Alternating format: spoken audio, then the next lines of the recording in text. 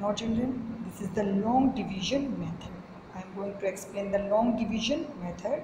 Question number 8 27 by 3 27 is the dividend and 3 is the divisor.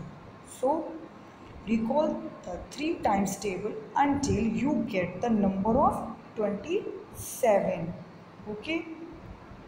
You get the number of 27 or a number less than 27 stop here okay? And write 9 okay? And write 9 on the top of 27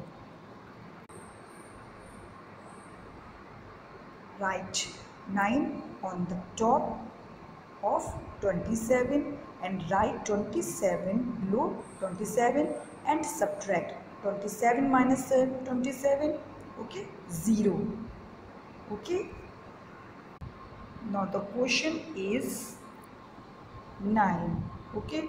Now the quotient is 9 27 is dividend and 3 is divisor and the quotient is 9